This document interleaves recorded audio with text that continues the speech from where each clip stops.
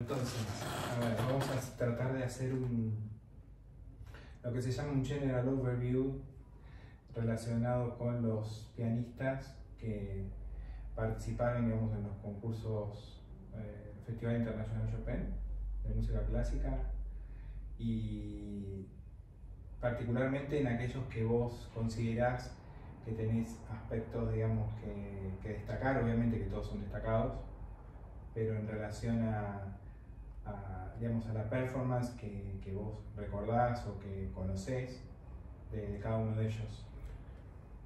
Mira, sobre Chopin, lo más interesante que fue, ahora no tengo el dato exacto, exacto, exacto, pero casi aseguro que fue el primer concurso de piano clásico uh -huh. del mundo. Fue en el 1927. 27, sí, en 27. Bueno, no importa, si me habrá equivocado, y lo ganó Lev Oborin uno de los grandes pianistas rusos de aquella época, lo ganó en 1927. Y hasta la fecha, o bueno, el concurso Chopin obviamente se hace en Polonia, ¿no? Porque a veces estos videos eh, lo ve mucha gente, bueno, fue el primer concurso grande de piano, Chopin. Y la verdad es que ganar un concurso Chopin es algo que es un poco complicado. O complicado porque, porque primeramente hay que tener una zona, o sea, aquello le llamo complicado. Si tú tienes que tocar, por ejemplo, te dedicas a tocar Mozart, como hizo, no sé, Glenn Gould, como hizo, bueno, Glenn Gould más bajo, pero bueno, más tirada para esa época, Glenn Gould, junto con Juan Sebastián Bach, etc. Pero, ¿cómo se llama esta portuguesa? Eh, no me acuerdo cómo se llama, Uchida, no, bueno, no importa que tocaba todo Mozart y a mí me impacté. ¿Por qué te hago esto? Porque una vez yo leí, creo que se retiraban estos en este tiempo, que había leído en España, que ella había llegado a no sé a qué orquesta sinfónica y se equivocaron. Ella tocaba no sé qué concierto, no sé si Schumann, algo así, y cuando llegó, que empezó a sonar la orquesta, pan, empezó a tocar en vivo un concierto de Mozart. Imagínate tú, me da un ataque. Tengo que parar lo que está no descubre, por favor. El millón de dólares no me lo puedo ganar hoy. Porque era, no sé, Prokofiev, era Brahms, no sé, pero nunca hubiera sido Mozart.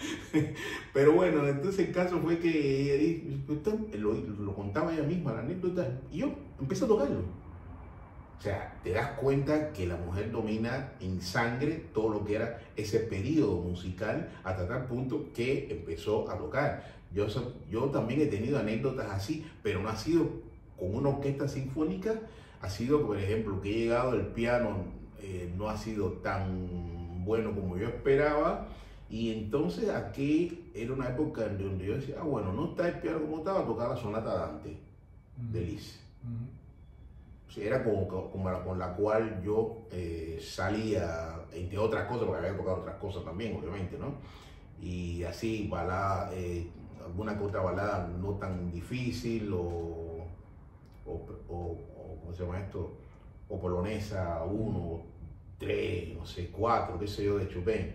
Pero un concurso de Chopin, para, en mi juicio, es un concurso muy considerablemente difícil, como tocar Beethoven, el concurso de Beethoven también de Alemania, porque los que tocamos toda la música, en realidad nos especializamos en toda, toda la música, pero hay cosas muy particulares.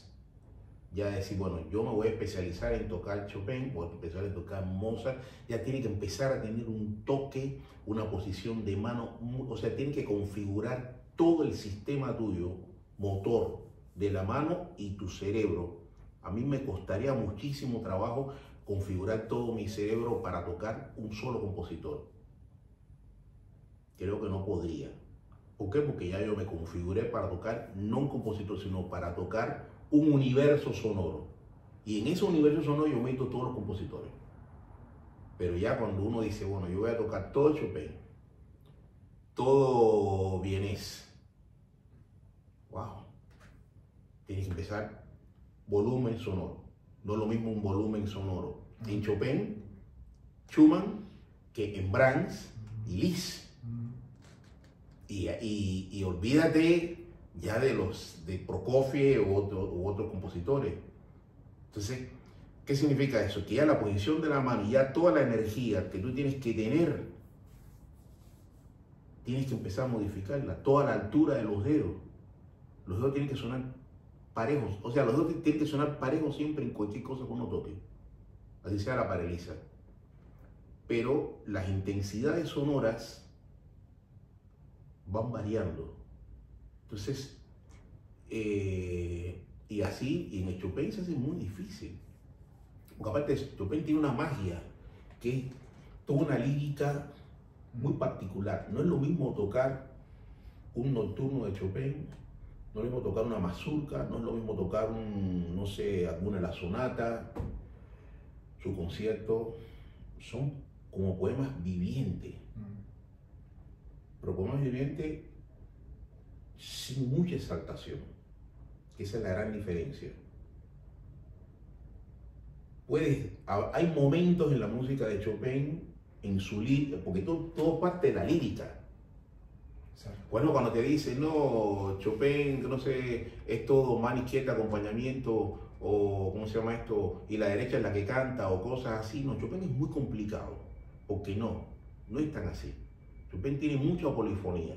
Lo que pasa es que esa polifonía va surgiendo en la medida en que tú vas, eh, eh, ¿cómo se llama esto? Transportando esa melodía como, ¿me entiendes? Como que va transportándola y entonces a partir de esa melodía se van escuchando otras cosas que posiblemente no te suenen si las tocas. Por ejemplo, lo que yo te decía del concierto de la barría en, el, en, el, en, el turno número 4 en Fa mayor. Todo el mundo le gusta correr ahí. ¿Para qué? En la segunda parte. No, ahí no hay que correr. Son simples dobles notas. Sexta. Tara, tara, tara, tara. Lo único que tiene, que tenerla es, ¿cómo se llama esto? Eh, parejas es la izquierda la que tiene que sonar. Y la izquierda. Entonces la dificultad está que esa derecha tiene que ser como si fueran caricias para que pueda sonar y eso son caricias de la mano derecha. ¿Cuántos pianistas logran eso?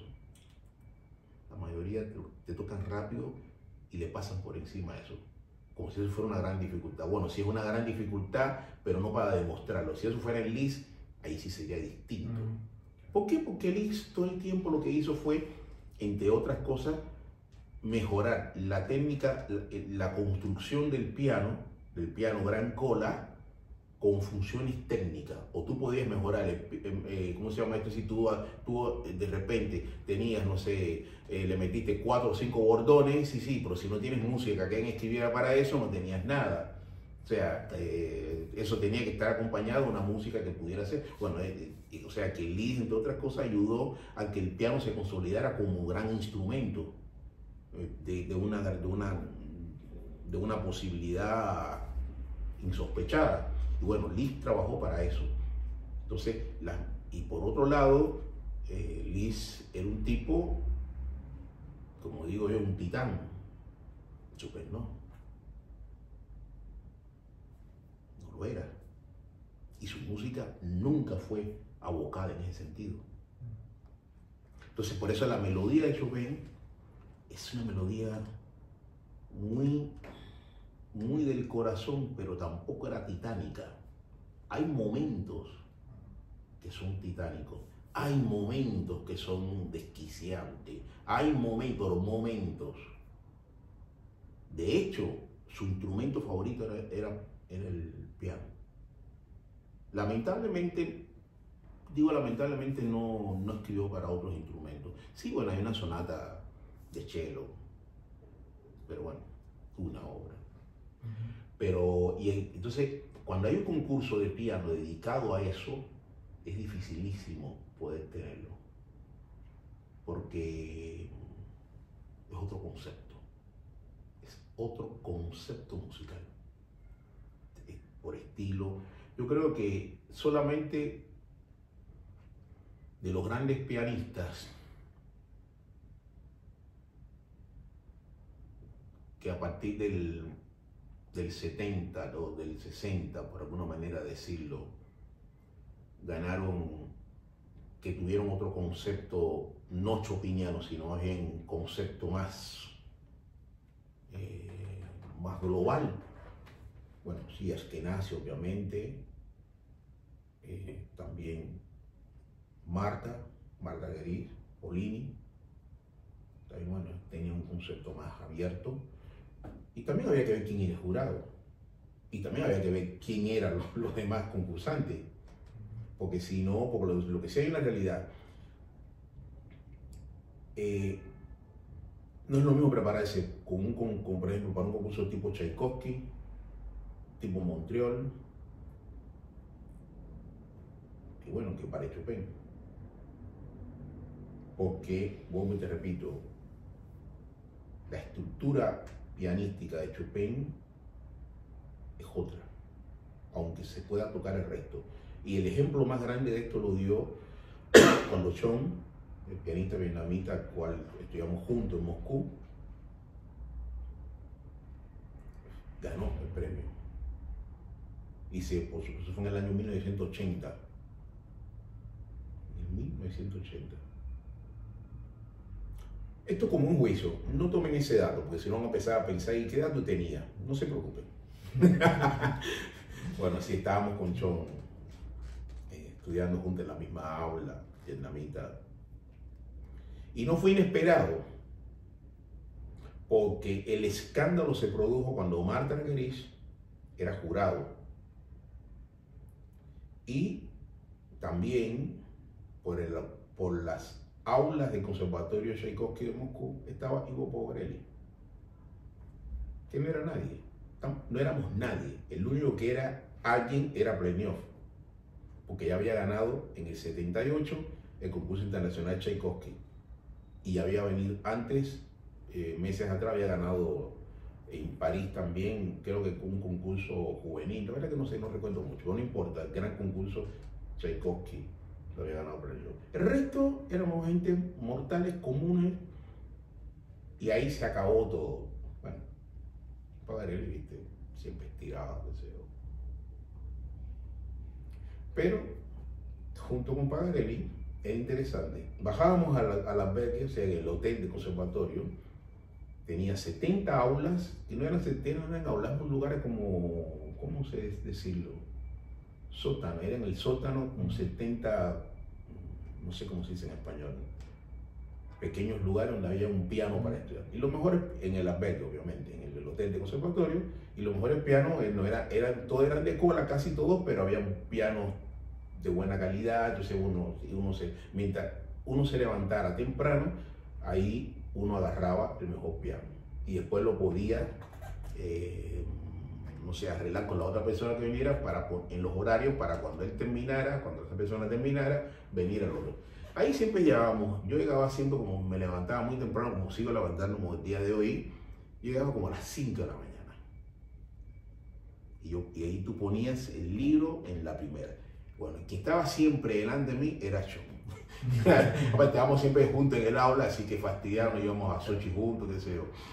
Y el que venía siempre detrás era Ivo Pagarelli. Bueno, y, y nada, qué sé yo, te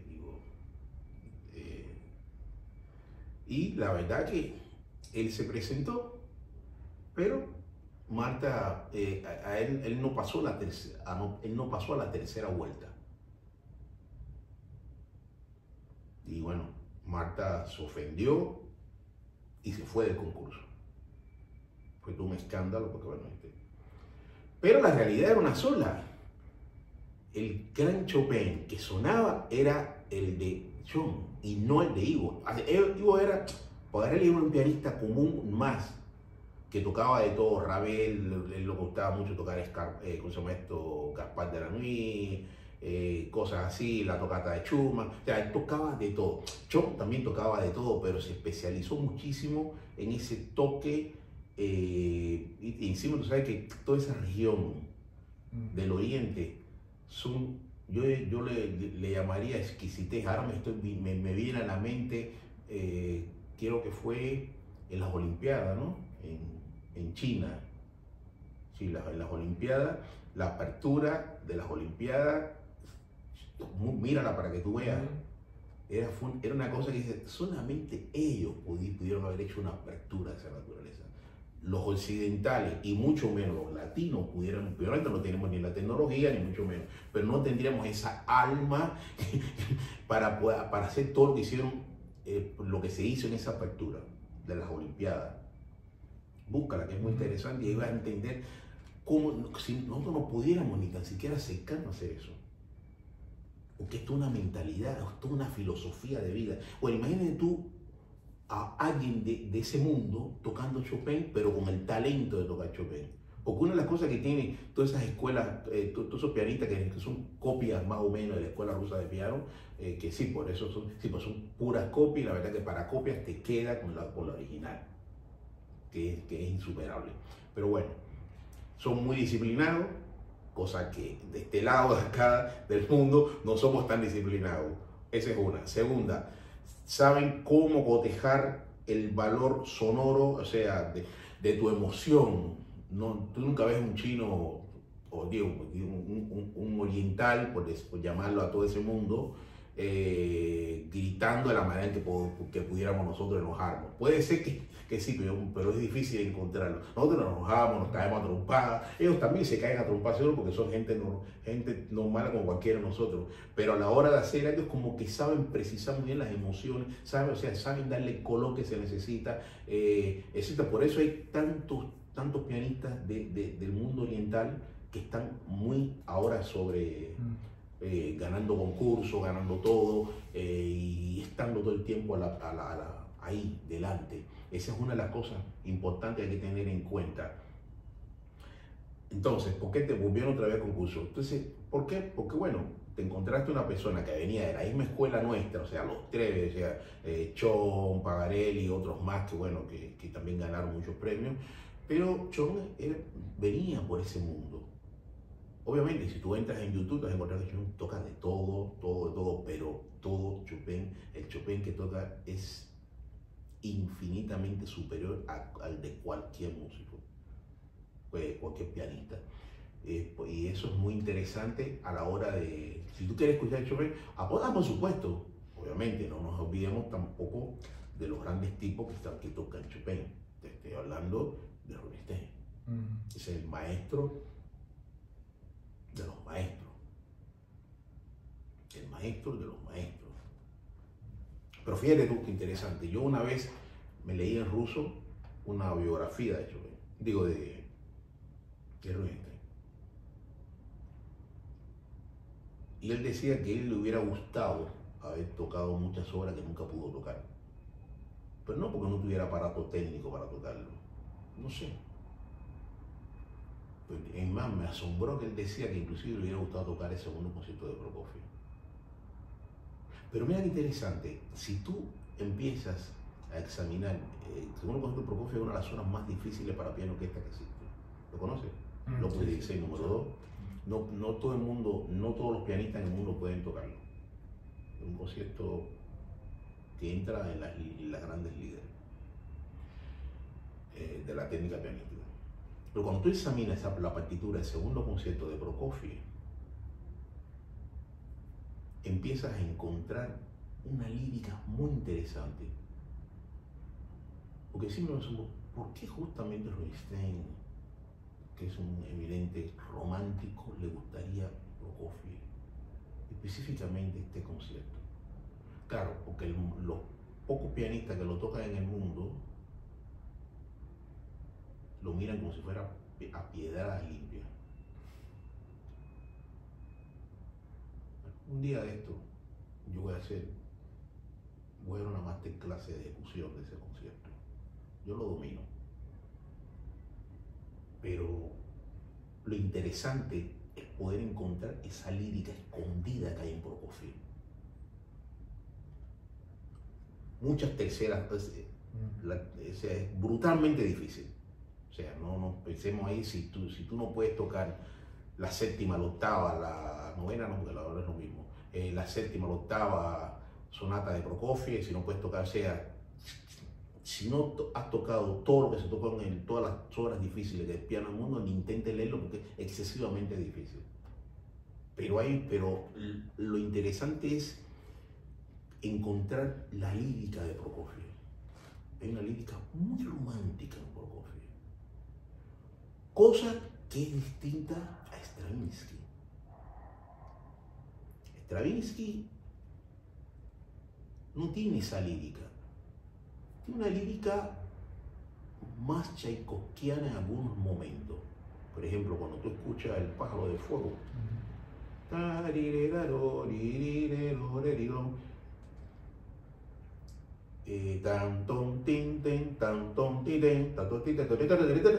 Ton Tú escuchas la versión de piano del italiano. Él la golpea muchísimo, le cae patadas y piedradas que bueno, y rompe el oído. Técnicamente la toca muy bien, pero lamentablemente, pero cuando, pero si tú escuchas, empiezas a escuchar, tú, tú una lírica muy, muy. Tchaikovskiana me refiero a esa cosa lírica, eh, eh, esa melodía, eh, que, eh, que a veces suena media pedante porque tienes acordes, acordes, acordes, acordes. Sí, pero bueno, todos esos acordes, si tú le das colores distintos a esos acordes que no suenen, que no suenen tanto, pero que, que tengan otra energía, por ahí puedes encontrar una cosa muy interesante en Tchaikovsky y su melodía. Bueno, eso tiene, tiende mucho a eso también. Pero, pero la melodía de, ¿cómo se llama esto? A lo, a, a lo que me estoy refiriendo, en ese paralelo entre la Petrushka, eh, ¿cómo se llama esto? El pájaro del fuego, etcétera, etcétera, etcétera, que, las versiones para piano y tú, y, tú, y tú sientes, por ejemplo, las obras de, de, de Prokofiev, Sarcasmo, las sonatas, etcétera, vas a encontrar una lírica muy hermosa, muy chopiniana a veces. Alguna persona dice que podría ser eh, de, ¿cómo se llama esto? De No no tiene nada que ver, son diferentes líricas. Es como decir la lírica de Liszt y la lírica de Chopin. Claro. O como decir la lírica de César Frank. Uh -huh. o, la, o sea, hay muchos tipos de lírica. Uh -huh. Hasta en Beethoven también se encuentra una lírica. Por eso que la lírica de Beethoven es más pequeña, o sea, más, no, no, no de, eh, de, tamaño, me refiero, no, no de fuerza de espíritu. Sus, eh, sus melodías, las de Beethoven, son más clásicas, aunque revienten en la tercera faceta de Chopin, digo, de, de Beethoven, ¿me entiendes? Y, o en la segunda inclusive. Pero bueno, para no irnos de esa vuelta, los concursos son un problema, porque quedan a gusto del consumidor, o de quien hace el consumidor, que son los jurados. Okay. Los jurados. Hay gente que, que han tenido suerte, que tocan bien, pero no pasa nada. Por, determinadas causas tienen hasta un premio. La verdad es que yo no sé cómo, cómo, cómo, es la, cómo es el puntaje. Yo la experiencia que tuve en concursos en el cual yo he estado de jurado, ahora estuve hace poco en, en el homenaje a, ¿cómo se llama esto? a Rasmanino el año pasado, figurado ese concurso de México. Acá en Argentina tuve el concurso internacional de música clásica de Teatro Colón. Pero bueno, hay una forma, hay una forma de que a mí no me gusta en el concurso, que es por número. Bueno, yo di tanto, 7, yo di 8, el primer premio que va, no sé, de 25, de 20 a 25. Eh, y así, y no, no, no me gusta ese sistema, porque por ejemplo, bueno, no sé si debo decir, tampoco un secreto de Estado ni de la NASA, mucho menos. Se dio un caso en el, en el concurso internacional de, de, de, Buenos Aires, como tal. Yo estaba obsesionado con que ganara un chelista. Digamos que el chelo en Argentina es un instrumento ¿viste? difícil. Contra un buen chelista en Argentina es como intentar, no sé, un tango en arameo. De muchas escuelas, pero y a veces el muchacho era muy bueno. Es cierto, había otro que era muy bueno, pero yo veo que priorizaba es, ese instrumento porque es un instrumento difícil. Y la verdad que tipo lo tocaba muy bien. Pero ¿qué pasaba? Cuando se juntaban otros tenían otros conceptos un director francés que había acá, o sea, no, no sé, ahora me acuerdo porque esto hace muchos años, ya, tantos años, pasó unos años atrás. Entonces, ¿qué pasa? Que cuando tú volvías a hacer la numeración, nunca quedaba de primero, porque uno ponía el otro, entonces como que entonces así te metías como 20 horas intentando, y bueno, en fin de cuentas ya está, tampoco es el concurso este Tchaikovsky de Moscú, así que ya está, ni me acuerdo qué premio ganó, la verdad que ni recuerdo, porque esas cosas yo las borro un poco. Y así uno va tirando. Entonces, es ahí donde están los problemas están los problemas, porque si es por, número de puntaje, te puede salir cualquiera, bueno, cualquiera no, pero el, gran exquisito de él puede ser que no queda, que quede afuera porque no le dio el puntaje, o puede ser que quede segundo. Eh, no sé, es muy complicado todo eso, es complicado. Yo, por ejemplo, lo que sí siento es que, que hasta ahora ese concurso, al igual que los grandes concursos de piano, más allá de, de un desliz de que, bueno, casi siempre todo el mundo que ha ganado el Rey Isabel de Bélgica, por ejemplo, el Tchaikovsky, el Montreal, por ahí quizás van quedando en el camino aquellos que no fueron los grandes líderes. Puede ser. Pero lo que sí te aseguro que en ese concurso todo el que ganó, toca. Para mí, el mejor pianista que ganó ese mundo fue John. Para mi criterio, si desde el punto, yo hablo desde el punto de vista de la ciencia musical, de la, de la, de, de la ideología pianística de cómo se tiene que tocar ese compositor. Para mí fue John. Obviamente, deben haber otros grandes, Polini. Pasa que Polini era, como te, repito, era otro tipo de pianista. Había que ver también todo lo que fueron detrás de él. La verdad que no, no tengo la menor idea. Que nace también otro tipo de pianista. Bunin, el pianista ruso también, el otro, o sea, Trifono, bueno, es lo más cercano que, podías, que podía ser chopiniano, pero él toca todo con una mentalidad chopiniana. Por ejemplo, ahí te das cuenta, mm. ahí te das cuenta. Cuando tú le escuchas a él, por ejemplo, yo hace poco me obsesioné, aquí lo aprendí, yo conozco la partitura, pero nunca la toqué, no sé por qué, de las variaciones Chopin de Rachmaninoff. Mm. Me parecían que eran medias pesadas me refiero, no sé, esto como dice, la gente dice un plomo, esto es un plomo. Entonces yo tocaba las otras, eh, o sea, tocar, me refiero, en concierto mío me obsesionaba mucho con, la, con las Corelli. Ah, con las variaciones Corelli y me parecía que eran más difíciles, que eran más, no sé, me gustaban muchísimo las variaciones. Y la otra, bueno, le tocaba acá, como siempre, hermano, más, más como, como se decía en Cuba o en cualquier parte del mundo. Esto es más más película, más rollo que película. Después, con los años, empecé a escucharla, escuché a escucharla. Ah, porque creo que el año pasado eh, todo se dedicó mucho a Chopin. Y entonces dije, bueno, ya está. Yo voy a hacer un programa de Chopin donde eh, quiero tocar cosas nuevas. ¿Nuevas de qué sea todo bueno, no, yo toda la música de Chopin la conozco la toqué. No toda la he tocado, porque bueno, por la, me refiero, toda la he toqueteado. Y, y la verdad que sí, he tocado casi todo lo de Chopin incluyendo más, menos el bolero. hay una música que no me escocesa, no, no, no, estoy para eso. Entonces, ahí, entonces, entonces en esa, entonces bueno, vamos a tocar cosas de Chopin, pero escrita por otro, o sea, reescrita por otro. Y me acordé de la, ¿cómo se llama esto? De las variaciones de Chopin de las manos redescubrir en realidad todo eso que le llamaba más bulla, más, rollo que película, era bellísimo también, pero obviamente en, en la lógica de Rasmani. Y, empecé a buscar ahí, te digo que obviamente la que más me gustó fue la de Richter. Richter es muy apasionada, muy apasionada, y también está, eh, y la de Trifono también era muy buena, muy linda muy linda, esa es la palabra, linda.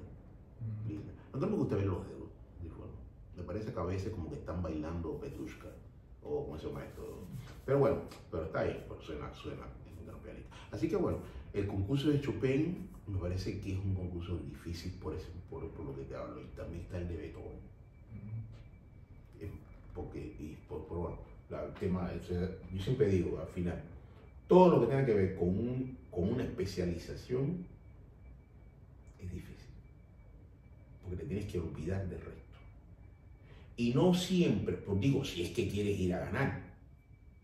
Y no todo el mundo va a tener la suerte de Marta, no todo el mundo va a tener la suerte de Askenazi y no todo el mundo va a tener la suerte de, ¿cómo se llama esto?, de Polini y de otros.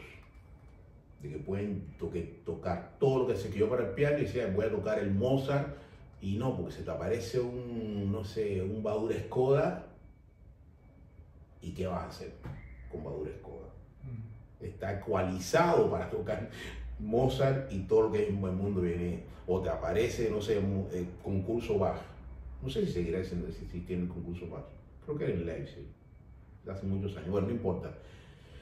Y, de repente te aparece con el, con el espíritu de Glenn y ¿qué vas a hacer con eso? Y no, ya está, ya date por muerto, por perdido, que no pasa, vas a dar la tercera vuelta, pero el premio va a ser de él, no va a ser nunca tuyo. Entonces, si uno quiere ganar un concurso, yo por ejemplo, yo me preparé siempre para dos, para dos o tres concursos. El Chup- estaba- justamente estaba pensando en el Chopin, en el Tchaikovsky y ¿cómo se llama esto? Y en el, bueno, en, en Italia. Pero bueno, a donde yo voy. Pero bueno, ahí donde está el problema. Ujú. Me gu- yo prefiero más los concursos abiertos, donde uno donde digo, bueno, toca Liszt, toca Chopin, toca Schiavone, donde uno puede empezar a buscar nociones musicales que estén dentro de ti. Pero bueno, busca Chon, que te va a gustar. Gracias, muy bueno. Y ahora, por favor,